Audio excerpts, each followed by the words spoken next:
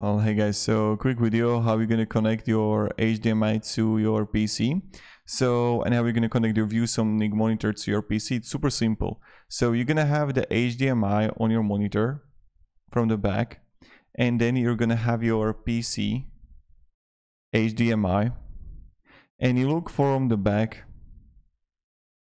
and there you're gonna have uh like the opening, and there you just want to enter it and that's how you're gonna do it. And you're gonna have the graphics card on the bottom. That's where you want to like entry and that should work.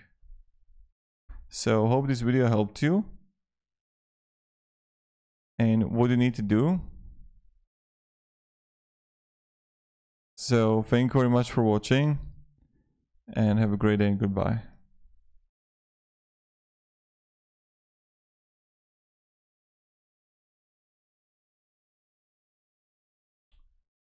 Something's off.